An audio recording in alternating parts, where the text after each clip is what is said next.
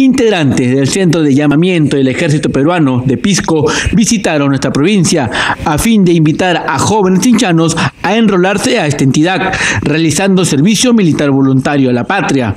Así lo indicó la suboficial ormeño, quien se refirió que se llevará a cabo una conferencia de prensa que tendrá como objetivo realizar una invitación formal a los jóvenes de Chincha. Buenos días, este, quien habla es la suboficial ormeño del ejército peruano. Eh, somos del cuartel de acá del Polvorín, acá en Pisco. Se le invita a toda la población de Chincha para la la conferencia de prensa mañana a las 8 y media de la mañana, hora exacta, eh, acá en la Plaza de Armas del Distrito de Chincha. Muchas gracias. ¿Qué puntos se van a tratar?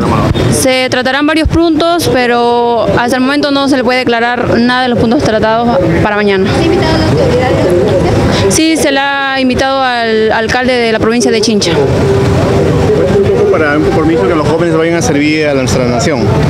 Eh, es para mayormente para los para las personas de 18 años para el servicio militar voluntario ya que tienen varios beneficios.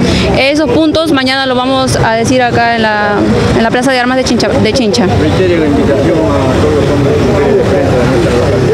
Se le invita a toda la población de Chincha, mañana acá a la Plaza de Armas a las 8 y media de la mañana. Eh, mayormente es para el servicio militar voluntario. Muy amable, muchas gracias. Gracias a ustedes.